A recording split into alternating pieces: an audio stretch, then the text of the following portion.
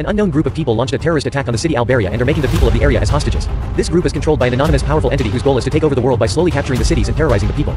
The people are afraid of these horrific terrorists and looking of an immediate help. To help the people of the city we are going to send our special anti-terrorist squad, which is made up of some highly trained extraordinary soldiers which are prepared to fight in any condition. As the people are looking for your help, it's time to roll out and clear the areas by eliminating terror.